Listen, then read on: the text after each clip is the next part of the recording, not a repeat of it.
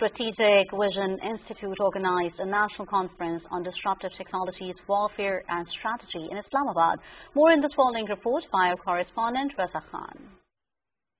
Strategic Vision Institute organized a national conference in Islamabad on the topic Disruptive Technologies, Warfare and Strategy. The conference was arranged under the leadership of Executive Director SVI, Brigadier Retired Naeem Salik. We all uh, come across uh, in the media and in all the discussion forums about uh, the impact which the new emerging technologies are going to have on uh, our lives and uh, on particularly on the warfare in the future and uh, we thought that it is important to discuss these issues, particularly uh, uh, involving the youngsters because they are the ones who are going to face these in their future endeavors and in their research and academic work.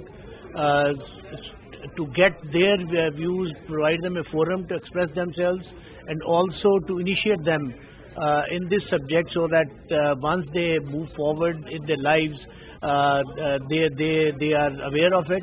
First session focused on global technology dynamics. It was moderated by Dr. Adil Sultan. Speakers from various think tanks spoke on various aspects of the topic.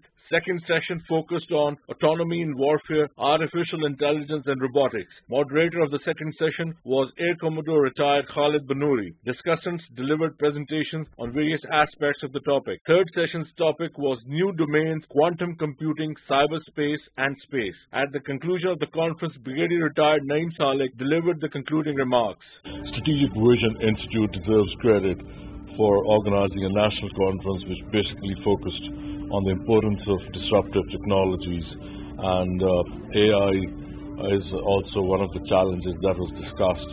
Uh, this remains to be seen how quickly uh, various institutions, be that in private sector or government sector, come on board uh, this new bandwagon of AI and disruptive technologies. This is Raza Khan reporting for PTV World.